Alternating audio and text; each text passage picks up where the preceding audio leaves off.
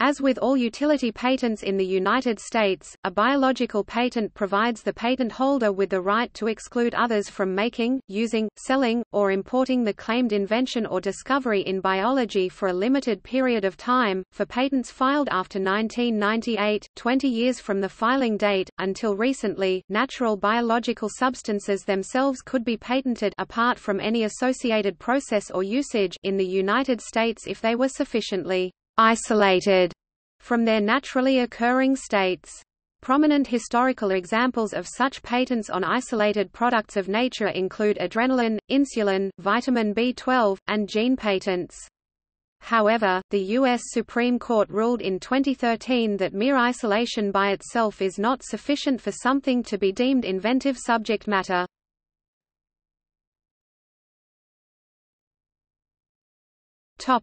History The United States has been patenting chemical compositions based upon human products for over 100 years. The first patent for a human product was granted on March 20, 1906, for a purified form of adrenaline. It was challenged and upheld in Parke-Davis v. Mulford. Judge Hand argued that natural substances when they are purified are more useful than the original natural substances. The 1970s marked the first time when scientists patented methods on their biotechnological inventions with recombinant DNA. It wasn't until 1980 that patents for whole-scale living organisms were permitted. In 1980, the U.S. Supreme Court, in Diamond v. Chakrabarti, upheld the first patent on a newly created living organism, a bacterium for digesting crude oil in oil spills. The patent examiner for the United States Patent and Trademark Office had rejected the patent of a living organism, but Chakrabarti appealed.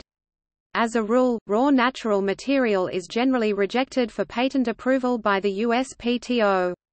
The court ruled that as long as the organism is truly man-made, such as through genetic engineering, then it is patentable. Because the DNA of Chakrabarti's organism was modified, it was patentable. Since that 1980 court case, there has been much patenting of genetically modified organisms. This includes bacteria as just mentioned, viruses, seeds, plants, cells, and even non-human animals. Isolated and manipulated cells, even human cells, can also be patented. In 1998, the U.S. Patent and Trademark Office (PTO) issued a broad patent claiming primate, including human embryonic stem cells, entitled "Primate Embryonic Stem Cells." US 5843780. On 13 March 2001, a second patent US 6200806 was issued with the same title but focused on human embryonic stem cells.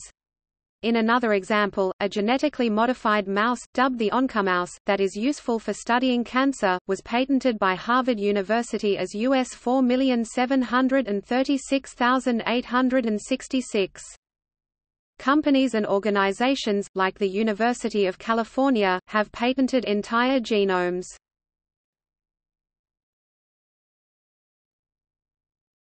Topic: Food patents. An early example of a food patent is the patent granted to RiceTec for basmati rice in 1997. In 1999, a patent was filed for a peanut butter and jelly sandwich that was without crust. Agriculture giant Monsanto filed for a patent on certain pig genes in 2004.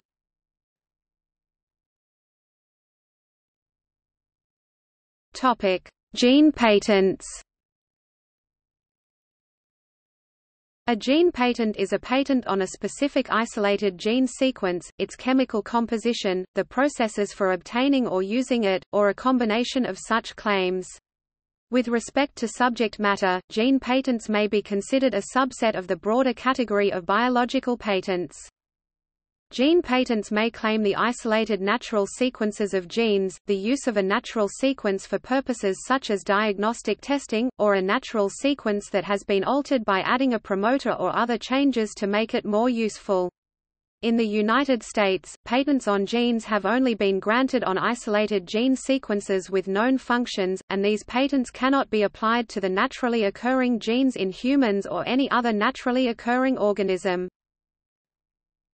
Topic examples The Chakrabarti patent, owned by General Electric, was filed in 1972 and issued in 1981 after the Supreme Court decision discussed above.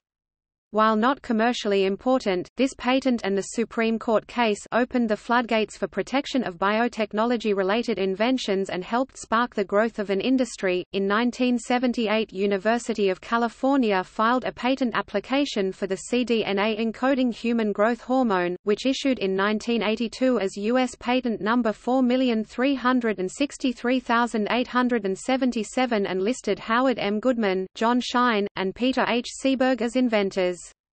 University of California licensed its patent to Lilly, leading to extended litigation among University of California, Lilly, and Genentech. Each of Lilly and Genentech had introduced recombinant human growth hormone drugs, which were among the first biotech drugs brought to market. The Cohen Boyer patents were invented by Stanley Cohen of Stanford University and Herbert Boyer of University of California, San Francisco.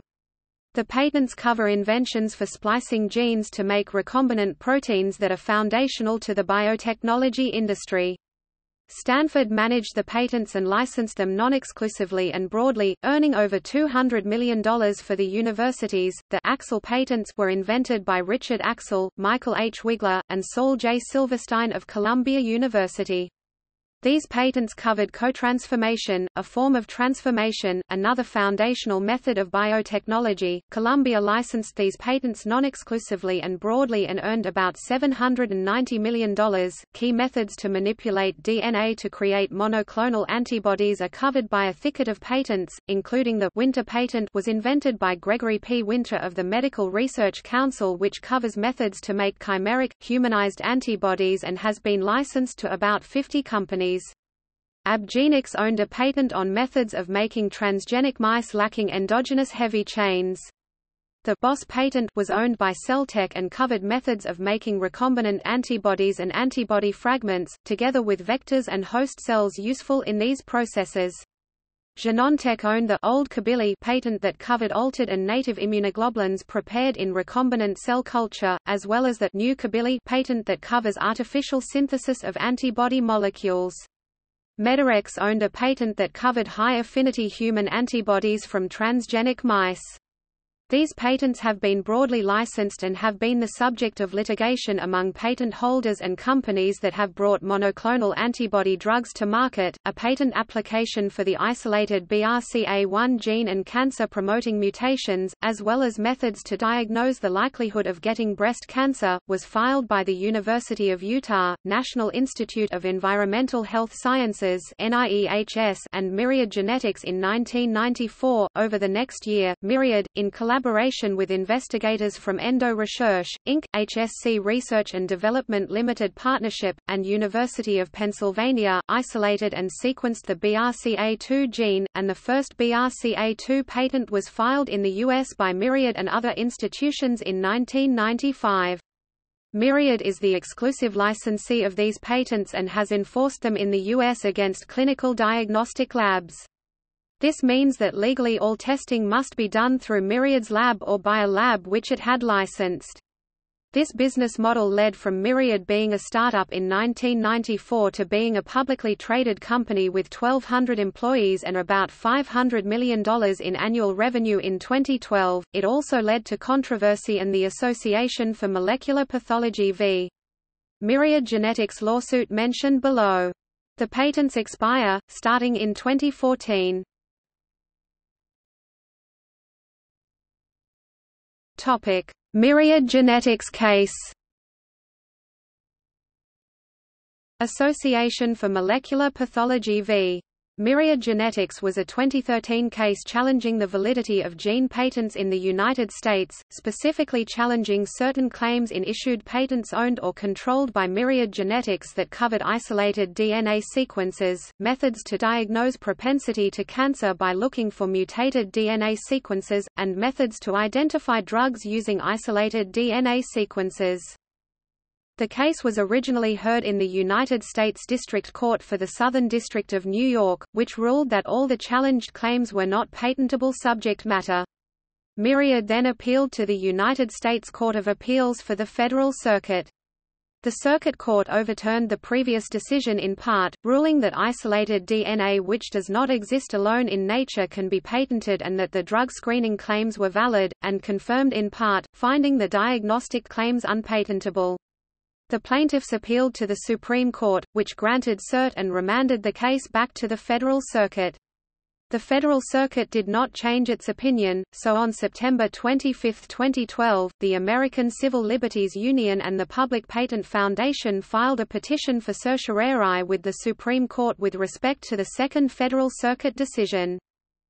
On November 30, 2012, the Supreme Court agreed to hear the plaintiff's appeal of the Federal Circuit's ruling.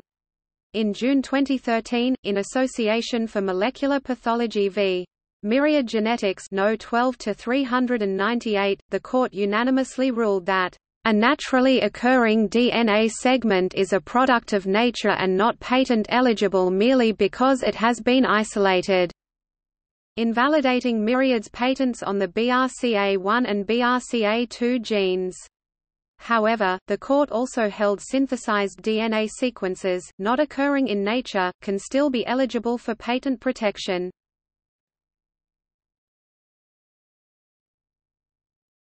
Topic: Controversy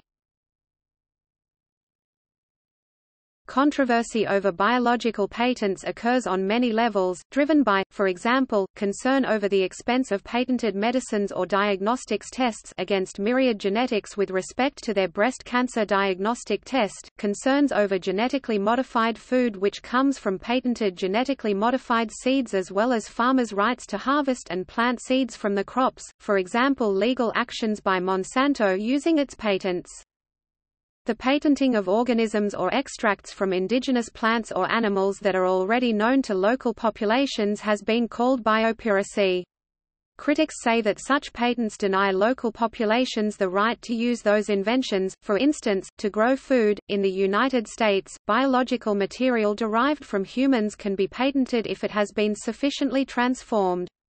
In litigation that was famous at the time, a cancer patient, John Moore, sued the University of California. Cancer cells had been removed from Moore as part of his medical treatment, these cells were studied and manipulated by researchers. The resulting cells were immortalized and were patented by the university as U.S. Patent 4438032 and have become widely used research tools. The subject of the litigation was the financial gain that the university and researchers achieved by additionally charging money to companies by licensing the cell line. Michael Heller and Rebecca Eisenberg are academic law professors who believe that biological patents are creating a tragedy of the anti-commons, in which people underuse scarce resources because too many owners can block each other.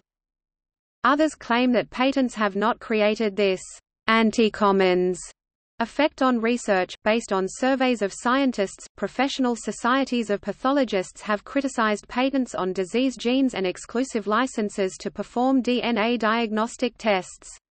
In the 2009 Myriad case, doctors and pathologists complained that the patent on BRCA1 and BRCA2 genes prevented patients from receiving second opinions on their test results.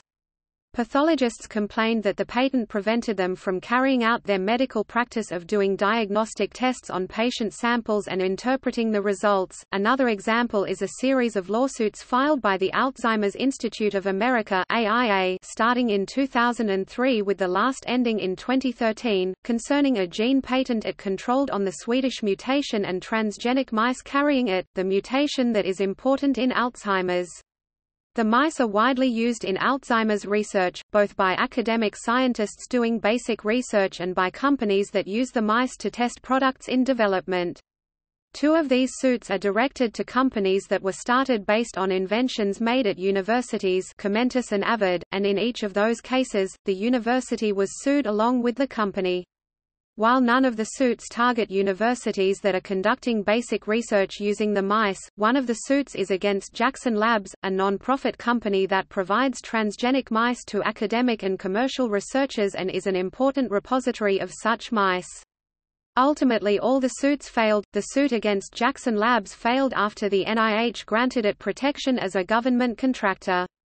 While there is some controversy concerning the patenting of isolated genes and the way those patents are used, and there is controversy concerning patents on the diagnostic uses of genes the real source of dispute in the Myriad court case, it is difficult to find controversy surrounding patents on genes that are used to manufacture therapeutic proteins. For an example of patents on therapeutic proteins, the drug candidate that is the subject of the early part of the movie Extraordinary Measures was covered in part by a classic gene patent, U.S. Patent Number 6770468. 1 There is also little controversy concerning the role of gene patents in the chemical industry, for instance in the manufacture of enzymes used in consumer products or industrial processes.